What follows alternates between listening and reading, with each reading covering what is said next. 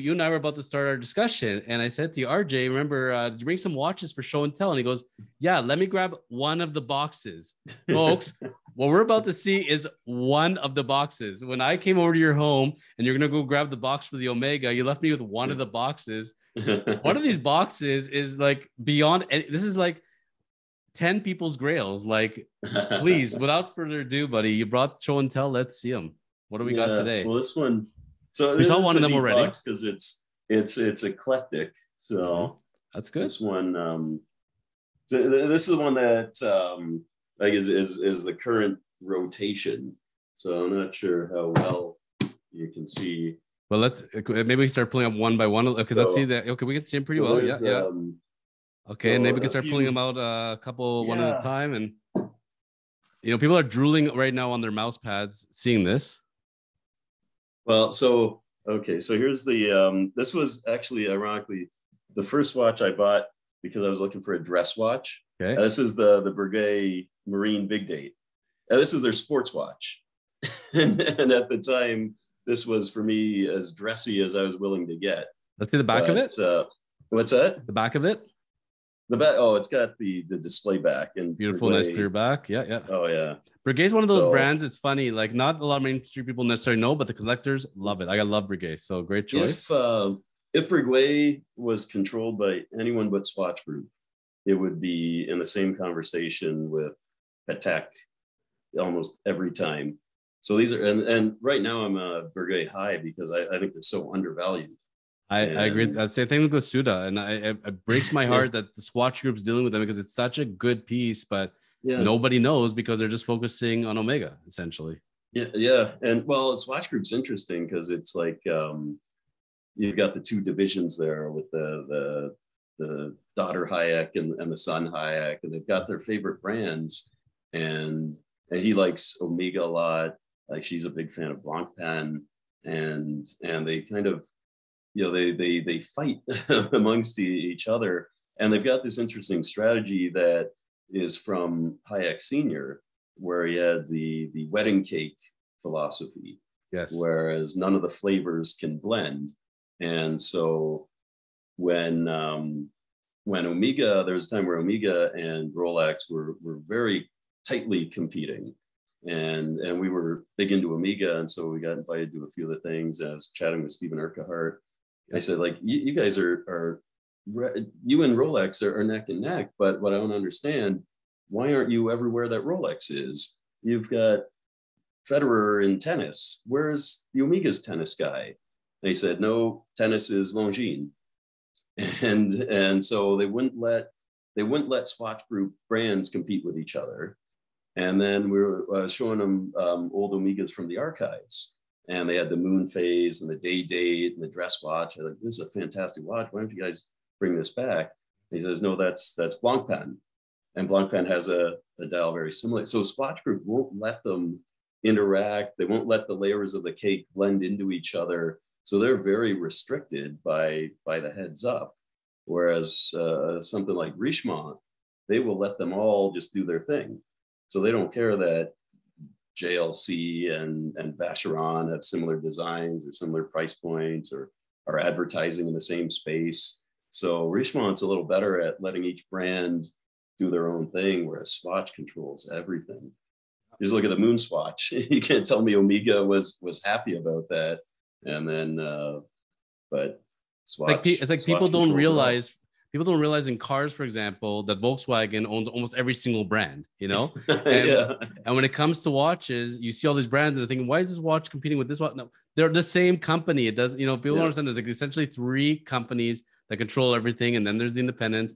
And then Rolex is just at its own level right now, yeah. obviously. But uh but but you look at the independents, and that's where you see Rolex, I gained a lot of respect for the way they did business before things went crazy, mm-hmm. is because w- when you started to see the the releases and and everything, and you watched Rolex sit back and do its thing, you realize they were playing the long game.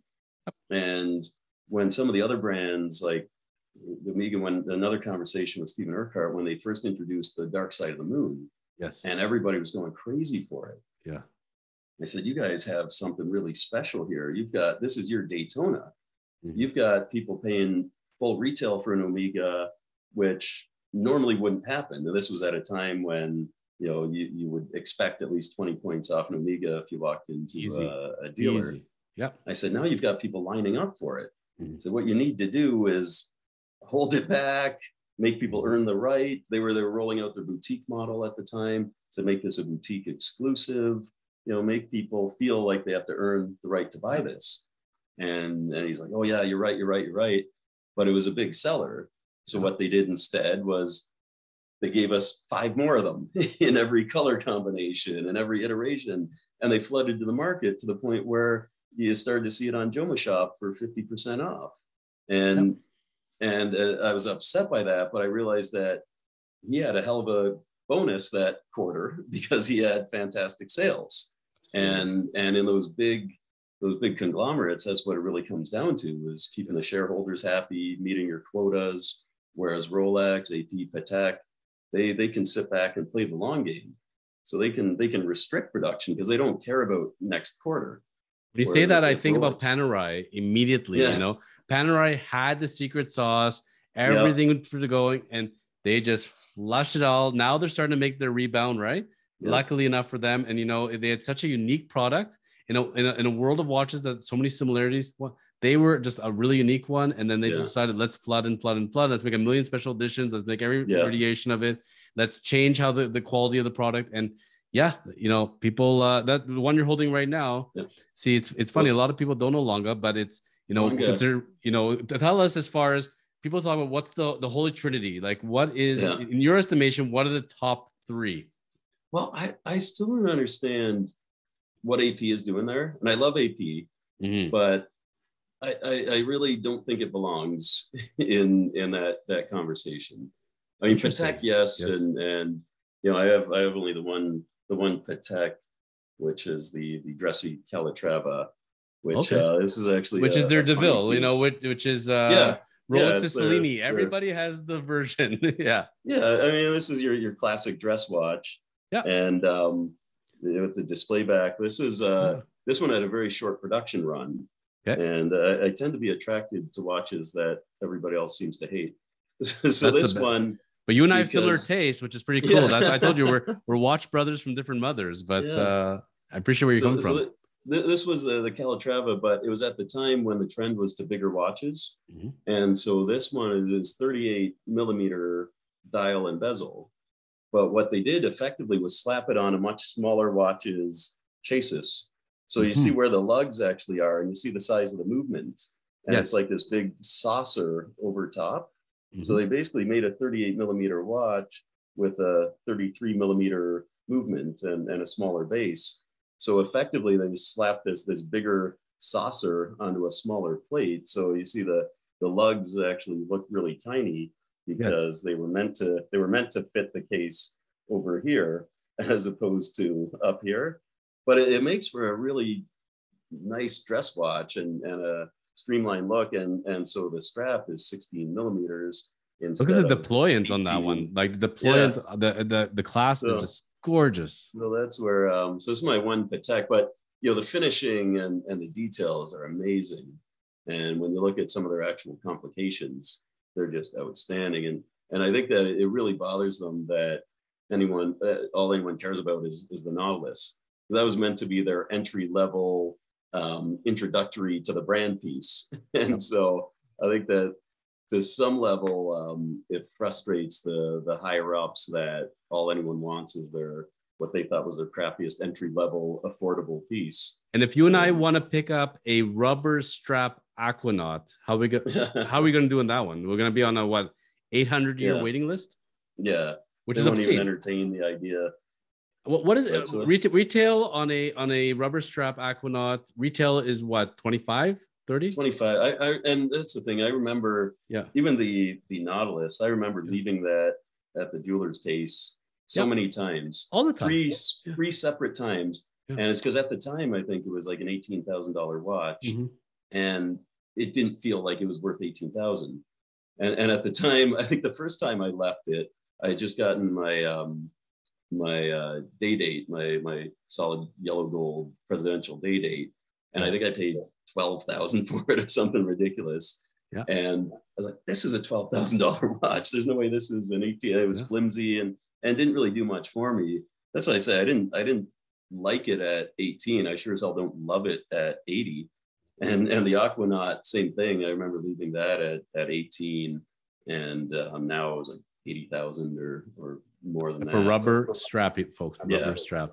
for, So- for a basic 300. But Lange, Okay. I think, definitely belongs in the in the Holy Trinity. Lange is an interesting brand right now. This Mm-hmm. is um, I only have two. I have this one in the the, the time zone. Okay. But the Only finishing, two. the Only detail- two. Yes. the finishing and the details are are amazing.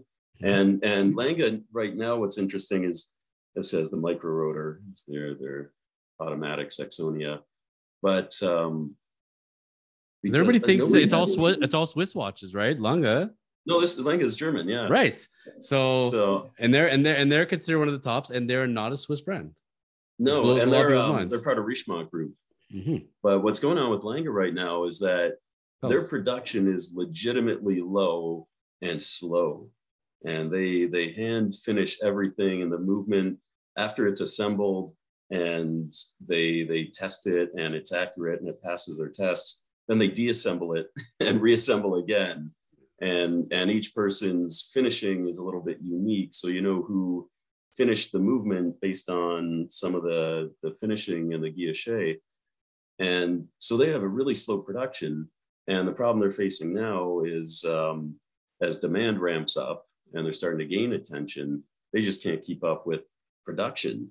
And so now you're starting to see these kind of go up a bit on the secondary because nobody wants to wait. no one, no one has Yeah. the patience to wait. They just all want it now. But uh, but Lange's amazing. I, w- I would agree with you as well. I mean, I, I would say that most uh, quote unquote experts will say Patek, AP, and Vacheron are the three. But I agree with you that that that Lange has to be in that conversation. Yeah, Vacheron, Vacheron, I really like. But, but there's another brand too that it's Highly all underrated. become About it's all become about the overseas, Mhm. and um, some of the Vacheron, their complications, their world timers, they're amazing. That's the the Samurai Lion. so that's the big, heavy uh, That's- Grand Seiko. That's the big Grand Seiko. That's not Daytona, folks. You're looking at. You think it is? It is not. No, It's a Grand is a Seiko. massive, heavy watch. I love this watch. It looks it's heavy. A, yeah, it's a it's a statement piece. Uh, it's their lion's claw case, but this one has so many different points of light, and and with their polishing, you've got the mirrored Zaratsu polish against the brush. Amazing. This one this one shines, and then the dial is is textured. It's their their lion's mane dial. This is when you're gonna go a- chop ch- trees and you're gonna do some bench. Then you're gonna go put that it's watch a, on. It, it's a GMT chronograph spring drive. There's so many functions that I've never used. Let's see. Oh, there's the uh, there's the Panerai. There's the Panerai. It's, uh, Okay. Submersible. You have to have one Panerai. I've never I, had actually, one. I, I always I'm- said I've never have more than one because they're so similar. Yeah. I have, I have this one and I have the Luminor Marina, which actually do have a very different wrist presence. The the Luminor Marina is like their dress watch by comparison. A Don't hate me, but I really want a Radiomir. That's uh, without the Oh, crown yeah? guard. I like the Radiomirs, you know, and it, it's it's one of those things. To me, Panerai with that crown guard is like a Breitling, like the style of the bracelet. You either love it or Yeah. you hate it. You know, it's Uh, kind of like when when I do the whole comparison of the biggies. You're Yeah. either an AP guy or you're a Patek guy. Generally, you're not both. You favor one or the other. The same way you like Yeah. the Stones or you like the Beatles. If you're picking AP or Patek, you're picking Patek, correct? Uh, it it depends. So Depends I on the model? Royal Oak, right? Yeah. I, have, I have three Royal Oaks. oh But, wow, okay, um, okay. I don't see them as horology. I don't see them as uh, near the same level. And even you know they've got some minute repeaters and they've got uh, their tourbillon, but they just stuff it in the Royal Oak case. and so for me, the beauty of Patek is is the the variability in their case design and their models, and yet they're still all on that amazing level. So you look at their their perpetual calendars and their minute repeaters, and they're very different than their sports watches and their Nautilus. You know, as, as opposed to AP, just keep stuffing everything into the Royal Oak case, Yes. and other than the code, which which I don't mind the code, but uh, again, I, I would be all in on the code if it was eighteen thousand. But at, at 30 and change. It's just there's so much so much better watches for that that price range. It's funny when we talk in CWC and we go and we go on the forums, right? And we Yeah. and we come and then we come on and we do the virtual talks. I remember like I, I love watches, I study them, but I still feel like such an amateur because like, oh, I like the 1197 case. No, I prefer the 270. I'm like, yeah, like I, I'm sorry, I don't memorize the stuff. And it, people take it that seriously. Oh, like, yeah. yeah, the, like the the the width. This one went by one millimeter. Like, wow, like this is how intense people are. Tell it. Oh, what's the other one we got holding there? Well, yeah, that's why I said when you go to like some of the watch meetups, Yes. it's like, you know, if you're a Star Trek fan, I was like, Mm-hmm. yeah, I like Star Trek. I watched Next Generation. I um, watched the movies. I, I'm a Trekkie. I know some of the characters. Then you go to some of these things and people are speaking Klingon to each other. Yeah.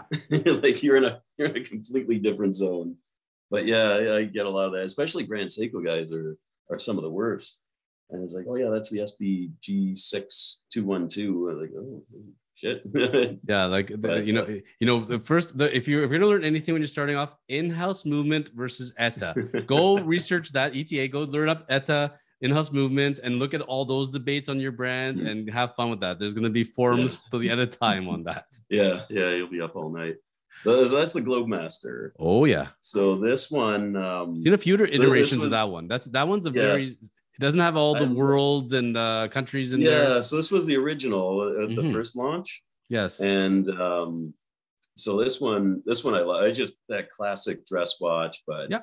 the fluted, the fluted bezel, which they get upset if you call it a fluted bezel. Because the bezel looks very Coin. familiar to me. Yeah, it looks like it's a coin bezel okay. that, that goes back to the. Uh, And, is that a rubber strap or a leather strap on that one? has nothing to do with Rolex Datejust. No, it's leather strap, and so and it's got the the platinum stitching. Thank you for enjoying today's episode of the Chosen Life podcast. Go ahead and hit the subscription button below and the notification bell to catch all of our great shows. And remember to contact the Chosen Lawyers when you are ready for your next real estate and commercial transaction. Go to kormans.ca.